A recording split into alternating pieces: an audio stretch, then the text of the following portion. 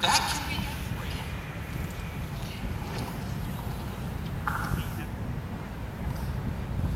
I'd like to introduce Alderman Jill Egizii from Illinois. Okay?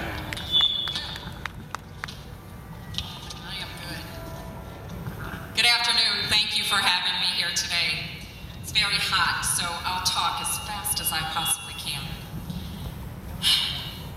Responsibility is central to our role as adults in a thriving society. Responsibility can sound like a burden, a negative, difficult, obligatory thing. But responsibility isn't a burden to those of us who have the burden of responsibility for our own children stripped from us by a conspiracy of circumstances.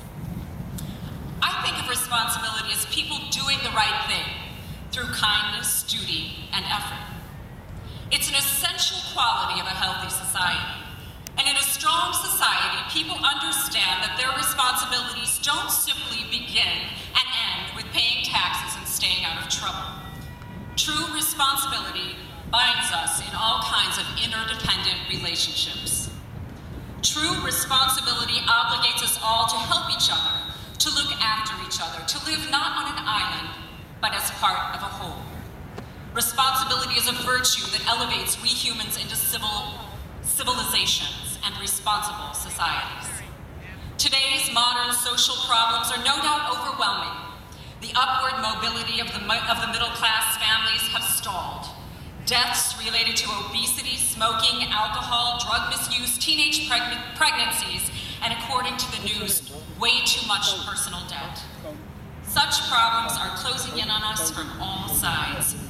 But let me ask you this Are any of these social problems caused by failures of personal responsibility, errors in judgment, or weakness in character?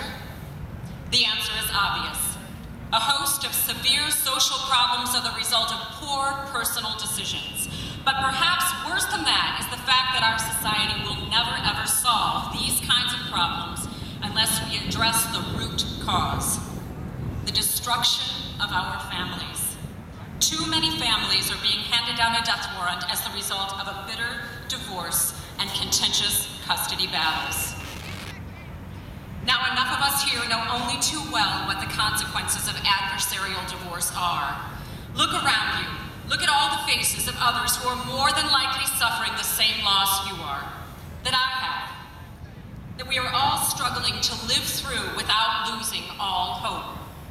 Those of you that are their family and friends, their legal advisors and clergy, you too are only aware of the high cost that's paid when a child loses a parent. I am Jill Egizii. I am an elected official in the city where I reside, and I am on the board of United Cerebral Palsy, and I'm a strong voice for children and adults with disabilities.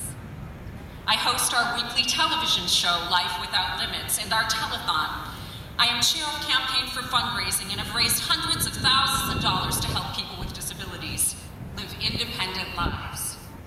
I also participate in Big Brother, Big Sister, and I would have never imagined six years ago that I would have been catapulted into the parental alienation arena by a bitter divorce.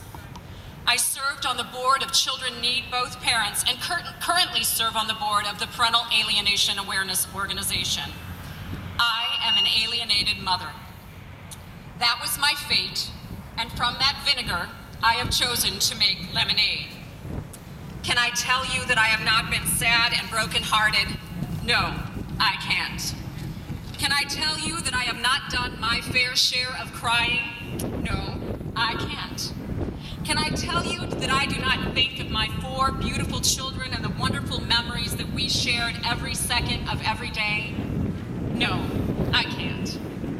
But what I can tell you is parental alienation catches children in the middle of conflict, suffering, and loss. In such cases, the parents and the children suffer unnecessary heartbreak. An alienated parent can only stand and watch from the sidelines as their children, children's lives go on without them.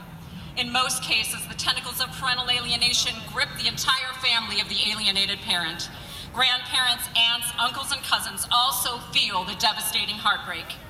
Both the children and the alienated parent are stripped of their personal freedom, lose their personal power to make choices when their parent child relationship is tampered with, eroded, and destroyed within family court and out. I even wrote a book about the experience to try and help those who haven't experienced this phenomenon better understand it. It is a novel entitled The Look of Love. And one reviewer wrote that it is a poolside education for those that do not understand the horrors of divorce and family court systems. I hope you will have a chance to read it. But now it is time to focus. And now it is time to realize that it is no longer healthy to wallow in our stories, in our sadness, and in our loss. Now is the time to participate in creating change, in cultural awareness, in legislative change, and in the way all government entities become involved in our families. We cannot shout as individuals into a sea of demands and needs that may seem more pressing, but what we can do is join our voices and unite as one, increase awareness, educate, and take a stand for what we believe is right. A slow, steady, positive effort toward our end goal. It is time to take action to reform and re educate family courts, divorce lawyers, and judges who determine custody. It is time for courts to stand up and recognize that parental alienation is not only a violation of both the child and the alienated parent's inherent constitutional right, it's a failure to our future. The destruction of too many families is the root cause of a host of severe social problems that arise from an epidemic failure of personal responsibility. But perhaps worse than that, is the fact that our society will never ever solve these problems unless we address how we are failing families in distress. Overwhelming statistical evidence shows that children do better when both parents are there for them, providing love and discipline. When both parents are there, that is the important thing. This fundamental truth is essential to the core values of a responsible society. Internationally recognized child development specialist Stephen Scott says that positive parent child experiences are more important to their later success as responsible adults than even income or other factors. What most influences the character of a person is the family that we grow up in. Our character determines how well we stick to our commitments, how we bounce back from bad times, and how we think about other people. This all starts at home. All these things and more are the result of the parenting we receive as children. We all know what good parenting looks like because it fosters commitment, resilience, and empathy. It seems too obvious to say, but parenting is the key to developing responsible people. Evidence shows that our parents are the single most important factor in our ultimate success or failure. What matters most to a child's life's chances isn't the wealth of the upbringing, but the warmth of their parents. There is a direct link between family breakdown and the growth of things like drug and alcohol abuse, teenage pregnancies, crime, and dependence on social services like welfare. Successful parenting in whole and intact families occurs not because these people are intrinsically better or that they love their children more. It is because with divorce can come a host of other problems that make equal parenting more difficult, or in the case of parental alienation, often impossible. Good parenting demands unity. If we want to give our nation's children the best chance in life, no matter their background or income, they need strong, secure families, or in the case of divorce, strong, confident, and able parents who instill ethics from an early age. Children are like sponges.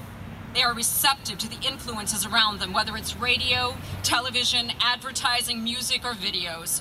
Kids are constantly tuned in. They're constantly watching and learning, and that's why even our laws and our government must play a part in ingraining a culture of a responsibility in our younger generations. Everyone has a duty to ensure that children absorb influences that model responsibility. Parenting is the core building block to a stronger society, and government must act to strengthen families. Providing support to both parents should start in our courts. And at the very least, the courts need to stop contributing to the problem.